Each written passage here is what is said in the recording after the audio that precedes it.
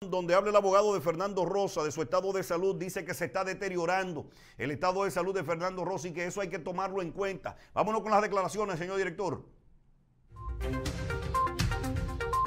Ayer me dijo que no había comido a las 3 de la tarde, entonces su estado de salud se está deteriorando. Entonces, una persona que para enfrentar con dignidad y con gallardía un proceso debe comer. Entonces, le hacemos un llamado a la Procuradora General de la República, Miriam Germán Brito, como a Roberto Santana, el encargado del nuevo modelo penitenciario, que a eso imputados que están guardando prisión con condiciones delicadas de salud, que le manden un médico a verificarlo, entonces que le permitan a la familia llevarle los alimentos para que no suceda ninguna desgracia fatal en contra de la salud de Fernando Rosa. A la Procuradora General de la República y a Roberto Santana que manden una comisión y a la doctora que está en la cárcel eh, a hacerle una evaluación médica a Fernando y que se resuelva de una vez por todas que él pueda comer.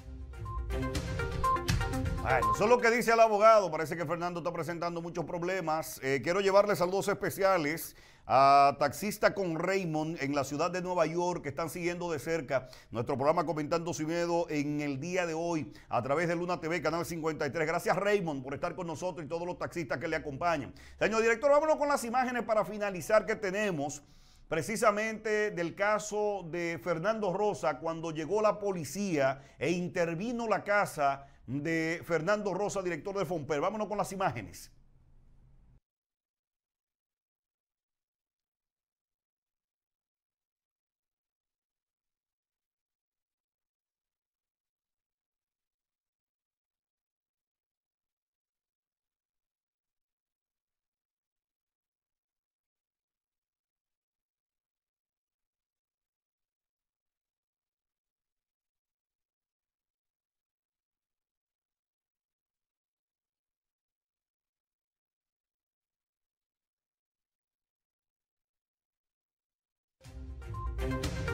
No hemos defendido a Fernando Rosa, pero esta actitud no nos gustó.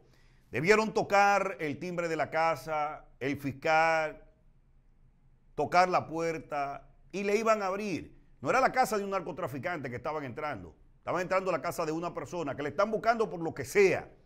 Pero esa no era la forma, tirarse por la pared como si ahí hubiese alguien atrincherado en ese lugar. Caramba, señores.